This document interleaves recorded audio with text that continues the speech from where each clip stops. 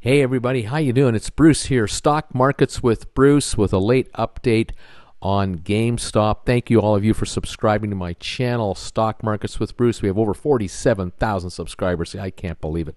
Thumbs ups, PayPal donations. You guys are unbelievable. We're going to talk GameStop.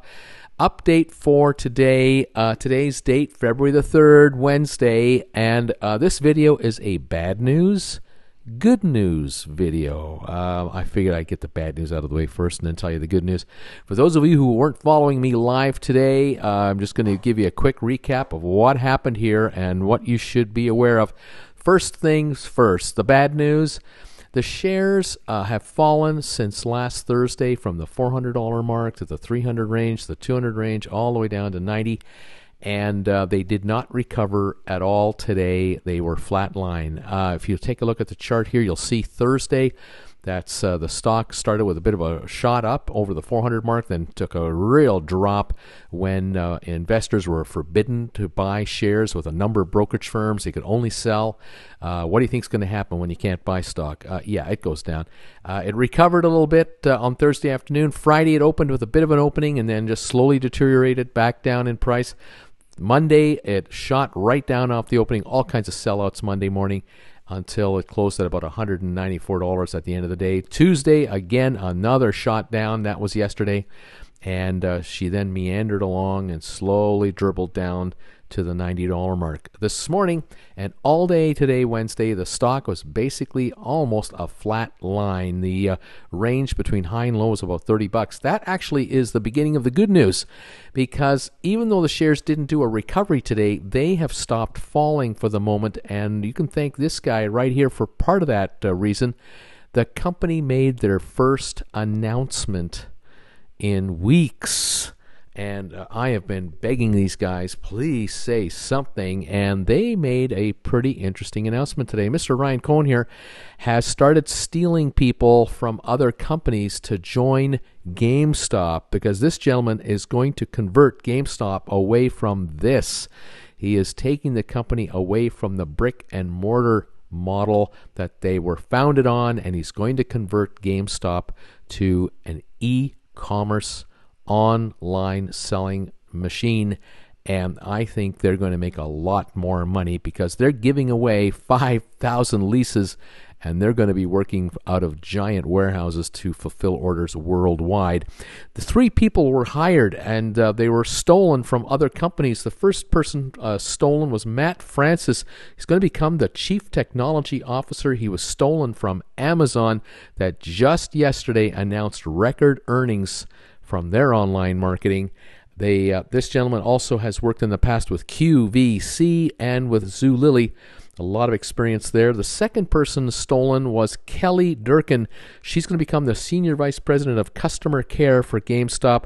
She was stolen from Chewy. That is the company that Mr. Cohen uh, co founded, and he is now picking off key people at different companies. The third person, Josh Kruger, he's going to become the vice president of fulfillment. He's also an Amazon and ex Walmart and QVC guy.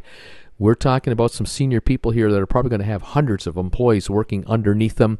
This company is starting to spend major money on their e commerce strategy and they will close down a bunch of their uh, brick and mortar stores. The overseas stores are likely to be sold off. They'll likely bring in upwards of 600 million in cash, rumor has it, and that cash and the fact that they are going to let go tens of thousands of workers who work in these small little shops um, will allow them to, uh, in effect, redirect the funds that they were spending on rents in 5,000 different locations, salaries for tens of thousands of people, and now they will just uh, have everyone working at their distribution warehouses and in their uh, their IT departments. Um, the folks in New York here, the brokers, uh, they're not yet fully aware of the end game, although uh, even if they are, uh, they're really not doing much about it. Uh, the shares, as I say, were as high as $438 a few days ago last week. And these gentlemen here and ladies and gentlemen are watching all these stocks trade around the world. Uh, hedge fund traders have exactly these kinds of systems, and they are all wondering what to do with GameStop. Uh, first things first, though, the stock had to have a fallout. Uh, they went way too high, way too fast. Uh, because they were in the $20 range about a month ago. Then they went to 30 and 50. Then they took off and went upwards of to 400 plus dollars, all in less than a week. That is too far, too much, too soon. And now the shares are consolidating. The question is, will the shares go back to 20 bucks a share, as some pessimists are saying? Or will the shares find a, a new lower level in this uh, 90 range, 70 range, 80 range, $100 range, and begin, begin to build from here as the corporate story, the big shift becomes known by folks here on the uh, New York Stock Exchange, analysts in New York? We're going to have to wait and see. Um, today, this announcement that was made by the company was a, the first of, I think, will be several there are likely to be a number of announcements going forward with additional hires. Don't think that they've only hired three people so far. Something tells me they have got their sights set on a whole bunch of people they're going to bring in to transform the company. I think the days are over for the shares to be trading at $4.14. Uh, going back in time, you can see here how the shares have never ever been to $90 before. Forget about the $400 price. These shares never hit $400. Back in 2015, they were in the 50s, and that was really as high as this company really has been.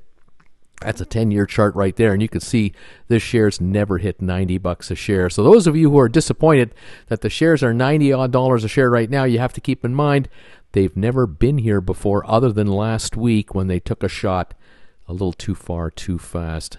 We'll have to follow. We will follow this. We'll keep an eye on it. We'll see how this all works out.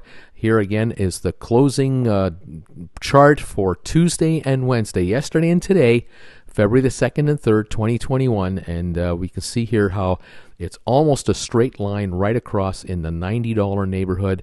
Uh, volume was still in the 40 million range today, but uh, not 200 million shares. There was no mass sell off to uh, to um, watch, and certainly it looks to me like the shares have run out of gas on the sell side.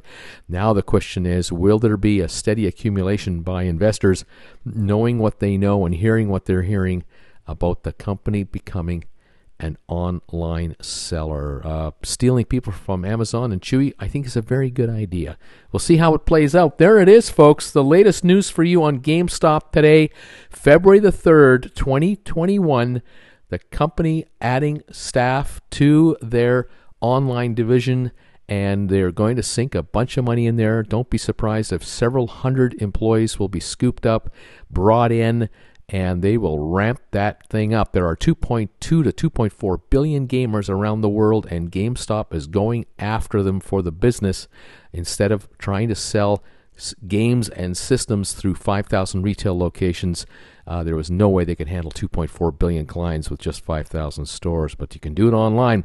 Thank you for joining me tonight. Thank you for subscribing, thumbs ups, PayPal donations, you name it. We'll see you again real soon. Bye for now.